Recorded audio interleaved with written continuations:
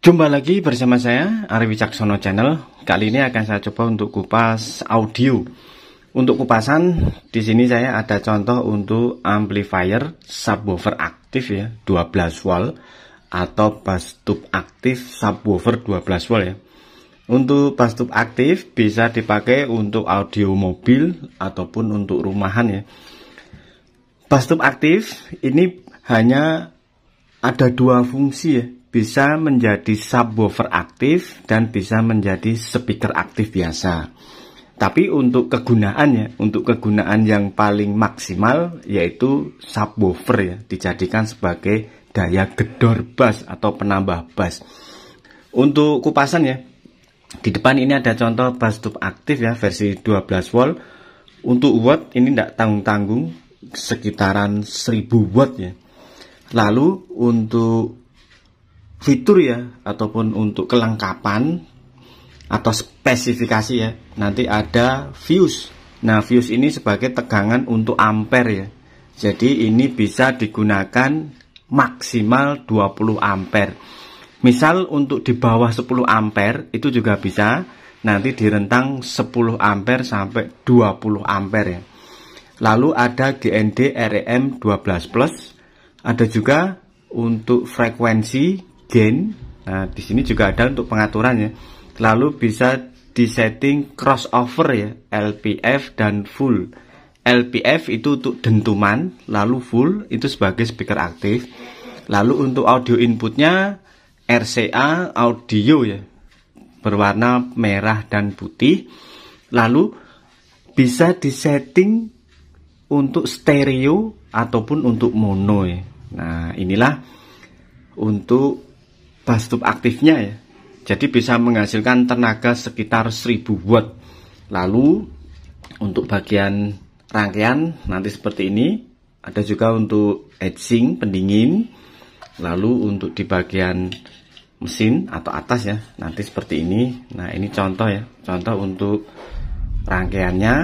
Nah yang kabel merah dan biru ini untuk jalur speaker Nanti untuk penggunaan ya, untuk penggunaan kalian misal untuk di rumah bisa menggunakan power switching, misal dengan ampere sekitar 10 ampere, ini juga bisa ataupun menggunakan yang versi 20 ampere. Nah, ini contoh untuk yang power switching 20 ampere. Agar lebih maksimal ya, agar lebih maksimal untuk bastub ini kan sudah tertera 20 ampere. Jadi agar lebih clear dan lebih horak ya untuk bassnya kalian bisa gunakan yang versi 20 ampere ya. Nah sebagai contoh ya sebagai contoh untuk power switchingnya ya. Nah di sini ada tulisan untuk 20 ampere. Jadi power switching yang 10 dan yang 20 sudah berbeda ya. Apa ya untuk speaker subwoofer Karman 12 in ini bertipe double coil ya. Akan saya coba untuk tes ya tes bass menggunakan amplifier bass tube aktif ini. Untuk cara pasang ya cara pasang dan pakai ya amplifier atau bass tube aktif 12 volt ya. akan saya coba untuk daya clear ya agar lebih mantap dan lebih jos ya. Ini akan saya coba untuk 20 ampere ya Nah, di sini ada untuk keterangan 20 ampere. Nah, seperti ini. Ini untuk 12 volt 20 ampere. Akan saya coba ya untuk menyalakan bastub aktif ya. Bastub aktif ini karena apa? Karena untuk bastub ini ada fuse-nya dengan 20 ampere. Untuk cara pasang sangat gampang ya. Untuk yang GND ini negatif, untuk yang GND negatif, untuk REM dan 12 plus ini positif. Jadi nanti kalian butuh kabel kecil ya sebagai jembatan untuk penyambung ya, penyambung antara REM dan 12 plus ya. Nah, seperti ini. Ini untuk cara penyambungannya yang pertama REM ini kalian sambung dulu untuk kabel kecil nah seperti ini. Di adaptor, yang di adaptor ya. Untuk yang negatif, yang negatif nanti masuk di GND. Untuk yang adaptor arus negatif masuk di GND. GND seperti ini. Lalu untuk yang arus adaptor yang positif masuk di 12 plus ya, yang 12 plus Nah, seperti ini bukan ya untuk yang positif di arus adaptor untuk yang di 12 plus. Nah, jadi nanti untuk penyambungannya seperti ini. Ini untuk yang adaptor ya. Kalau untuk di rumahan ya. Jadi seperti ini. Seandainya nanti untuk di mobil ya, untuk di mobil sangat gampang. Tinggal ambil saja jalur yang diampli bawaan mobil ya. Atau bisa juga langsung arus di aki. Tes selanjutnya ini akan saya coba untuk cek sound ya untuk suara dentuman bass. Nanti akan saya coba juga untuk suara vokalnya ataupun speaker aktif ya tinggal kalian sambung saja untuk di jalur speaker ya. Untuk positif dan negatif ya. Dan nah seperti ini. Nah seperti ini. Ini sudah tersambung. Selanjutnya tinggal saya coba untuk cek bass ya. Cek dentuman bass ya. Untuk cek bass ini akan saya coba ya. Akan saya coba gunakan bluetooth audio receiver ya. Nah seperti ini untuk cara penyambungan ya sangat gampang ya. Nanti untuk yang inputnya ada di RCA RCA ya RCA audio. Nah, seperti ini sangat gampang untuk cara penyambungan. Nah seperti ini. Sudah terpasang ya untuk power switching 20 ampere lalu subwoofer bass tube aktif ya bluetooth audio dan tes 12 in Karman Nah, seperti ini nanti untuk nyala di tube warna biru, lalu di power switchingnya warna kuning ya. Tes selanjutnya ini akan saya coba untuk cek sound ya.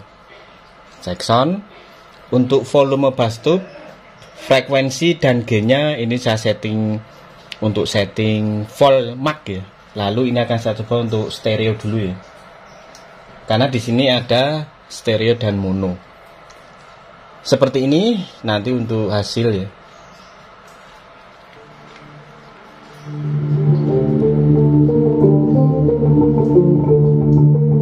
Ini untuk settingan stereo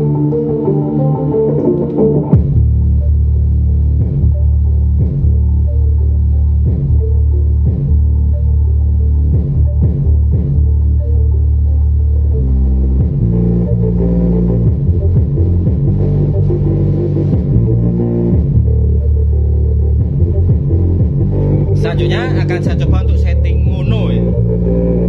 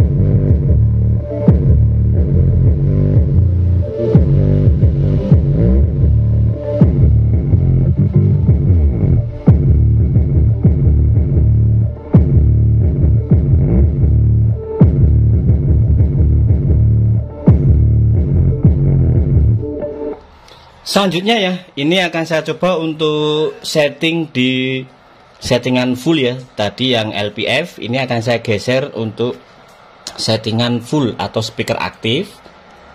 Lalu untuk stereo, ini akan saya bikin stereo yang tadi untuk mono. Nah, ini contoh untuk settingan speaker aktif ya. Akan saya coba untuk cek lagu ya. ya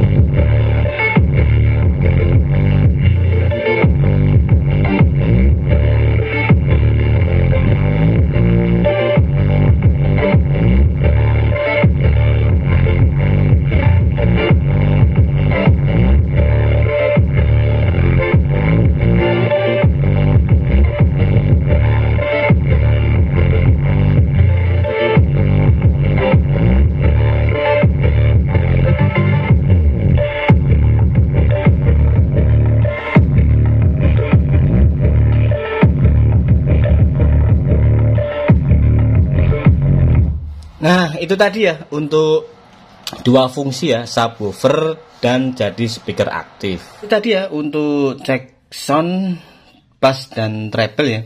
Jadi ya untuk yang namanya amplifier bass tube ya.